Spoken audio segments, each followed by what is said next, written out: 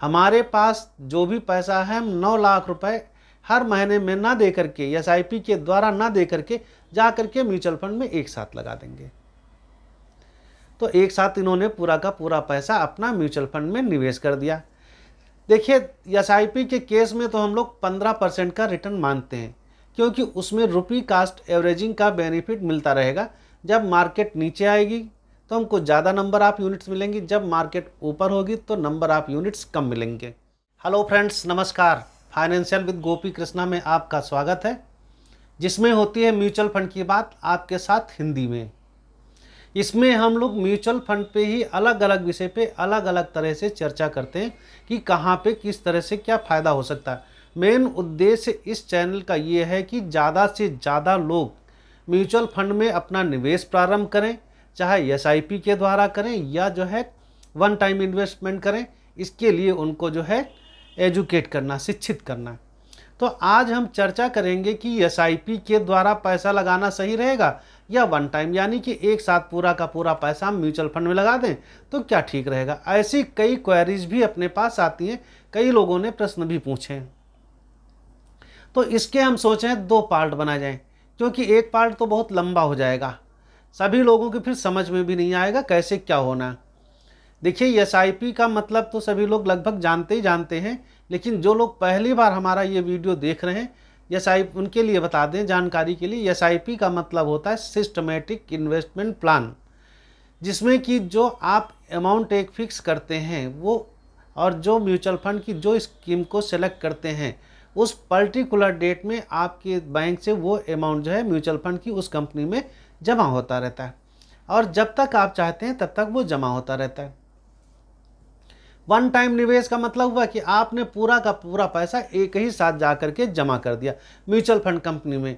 उसमें क्या ग्रोथ आएगी? कितनी ग्रोथ आएगी? दोनों में से क्या ठीक रहेगा? देखिए, जिसके पास एक टाइम पैसा है वन टाइम वो चाहता हम लगा दें। ऐसा तो है नहीं किसी के पास धन है और वो भी हर एक आदमी की इच्छा जो है होती कि हम जो है अपना जो है पैसा ज़्यादा से ज़्यादा हमारे पैसे में ग्रोथ हो। देखिए एसआईपी उन लोगों के लिए अच्छी होती, ठीक होती है, जिन लोगों के पास रेगुलर इनकम है, लेकिन एक साथ पैसा लगाने के लिए पैसा नहीं है। क्योंकि हर एक आदमी की सैलरी हो या बिज़नेस से इनकम हो, एक साथ नहीं आएगी। पार्ट में आती रहेगी छोटी छोटी आएगी।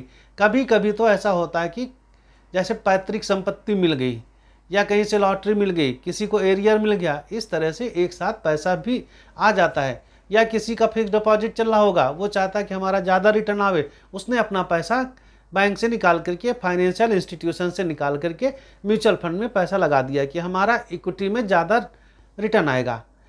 अगर किसी का साल, दो साल, तीन साल का गोल है, तब तो आप फाइनेंशियल इंस्टीट्यूशन या चाहे बैंक हो या इस तरह कोई भी हो, उसमें आप पैसा रखिए। लेकिन जिसका पंद्रह साल, बीस साल, पच्चीस साल का है तो उसको जो है इन तरह के इंस्टीट्यूशंस में पैसा रखने की ज़रूरत नहीं है। अगर आपको बहुत अच्छी जानकारी है स्टॉक मार्केट की तो आप डायरेक्ट स्टॉक में इन्वेस्टमेंट कर सकते हैं। नहीं है जानकारी तो आपके लिए म्यूचुअल फंड एक बेहतर ऑप्शन है। अब इसमें क्या ठीक रहेगा? हम दो तरह से कंपेयर करेंगे, दो क्या, तीन तरह से करेंगे, दो पे आज कंपेयर करेंगे।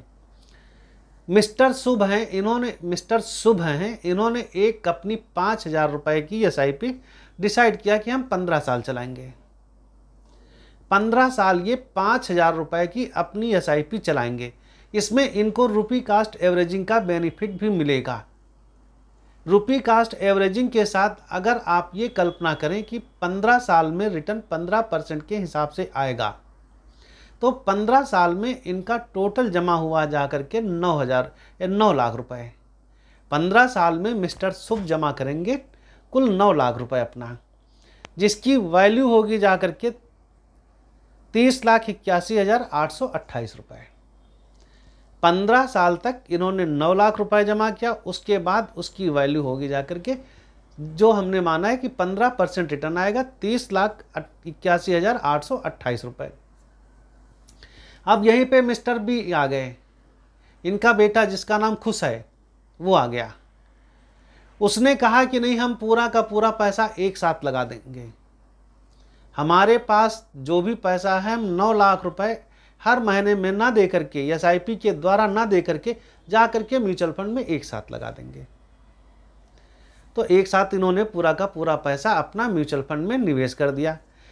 देखिए एसआईपी के केस में तो हम लोग पंद्रह परसेंट का रिटर्न मानते हैं, क्योंकि उसमें रुपी कास्ट एवरेजिंग का बेनिफिट मिलता रहेगा। जब मार्केट नीचे आएगी तो हमको ज़्यादा नंबर ऑफ़ यूनिट्स मिलेंगी। जब मार्केट ऊपर होगी तो नंबर ऑफ़ यूनिट्स कम मिलेंगे। लेकिन जब वन टाइम इन्वेस्टमेंट करेंगे तो इसमें डिपेंड ये करता है कि हम किस मार्केट पे मार्केट किस लेवल पे, कहाँ पे हम निवेश कर रहे हैं। तब भी हम तेरह परसेंट का रिटर्न इसमें बारह परसेंट का रिटर्न आप मान सकते हैं कि तीन परसेंट जो एसआईपी में आ रहा रिटर्न उससे तीन परसेंट कम आएगा।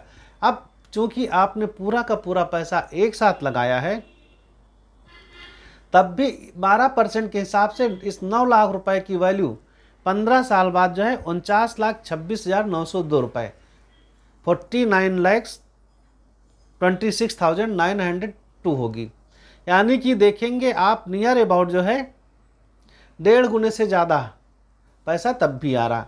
इसके अलावा एक और ऑप्शन है, जिस पे भी हम कंपेयर करेंगे कि जो हम पैसा लगाएँ मार्केट में वन टाइम लगावें, लेकिन उसमें हमको एसआईपी और इन सब चीज़ों का फ़ायदा मिलता रहे, उसमें हमारा कितना रिटर्न आएगा, इस पर भी आने वाले वीडियोस में इस पर चर्चा करेंगे।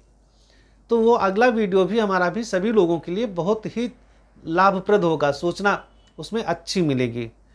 इसी तरह के वीडियोस देखने के लिए जिन लोगों ने अभी तक हमारे YouTube channel financial with Gopi Krishna को सब्सक्राइब नहीं किया है, अवश्य सब्सक्राइब कर लें, बेल आइकॉन को प्रेस कर लें, जिससे आने वाली वीडियोस का नोटिफिकेशन आपके पास सबसे पहले पहुँचता रहे। वीडियो को ज़्यादा से ज़्यादा देखें लाइक करें शेयर करें और कमेंट्स करें। वीडियो देखने के लिए धन्यवाद, नमस्कार।